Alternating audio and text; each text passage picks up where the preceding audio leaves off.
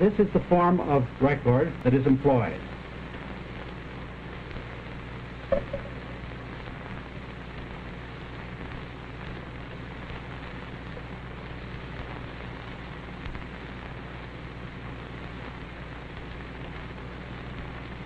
Now I've placed the record on the, on the turntable and also located the reproducing element ready to start for reproduction of the record itself.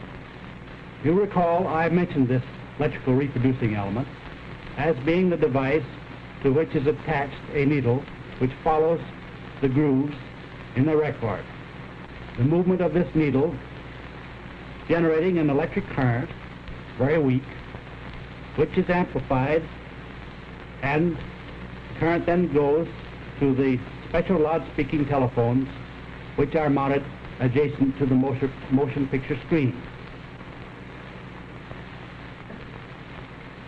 Now, we, we started to take a picture in the studio, and that picture has been completed.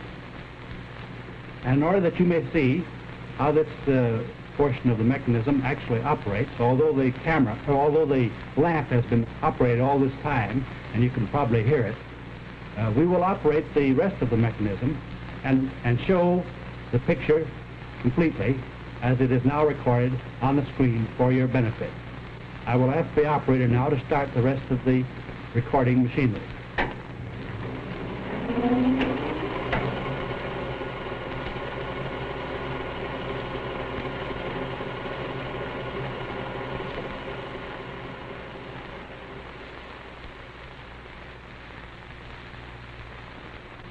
Thank you.